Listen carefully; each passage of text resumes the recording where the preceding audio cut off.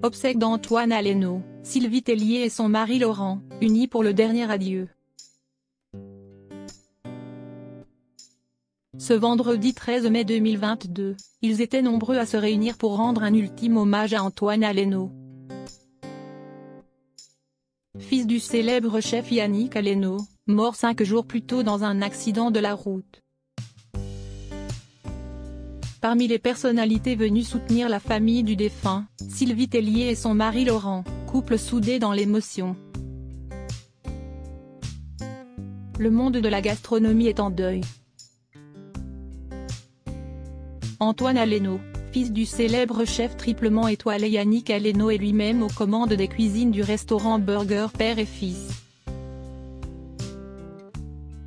est mort à seulement 24 ans dimanche 8 mai 2022 alors qu'il se trouvait en scooter à un feu rouge, il a été fauché par une voiture. Le chauffard ivre, qui a pris la fuite, a été retrouvé, mis en examen et placé en détention provisoire. Moins d'une semaine après le drame. Les proches du jeune défunt lui rendent hommage au cours de ses obsèques en la collégiale Notre-Dame de Poissy dans les Yvelines de grands noms de la gastronomie, des politiques mais aussi d'autres personnalités étaient présents ce vendredi 13 mai 2022. À l'instar de Sylvie Tellier, venue accompagner.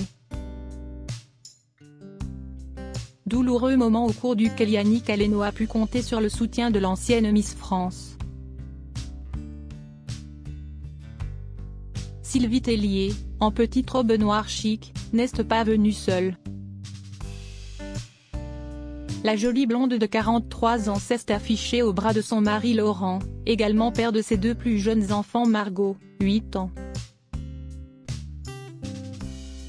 Et Roméo, 3 ans, elle est maman d'un premier enfant, Oscar, 12 ans, né de sa relation avec son ex-époux Camille Lemot.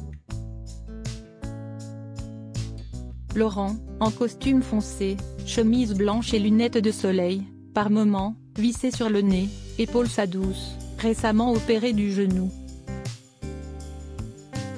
Lors de l'annonce de la mort du jeune Antoine Aleno, Sylvie Tellier n'avait pu retenir ses mots.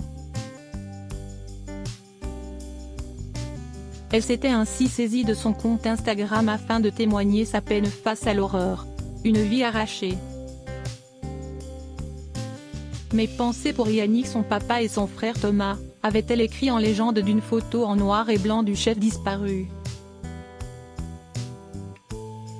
Cette journée du vendredi 13 mai 2022 est un jour éprouvant pour ceux qui ont côtoyé, de près ou de loin, Antoine Aleno. A commencer par son père, qui a livré un discours poignant. Cette mort, cette horreur doit être à l'origine d'un changement, du retour de la sévérité contre la délinquance qui sévit. Siesti un jeune homme de 24 ans qui a été fauché, un Français qui avait des ambitions patriotes, a-t-il déclaré le cœur meurtri par la mort brutale de son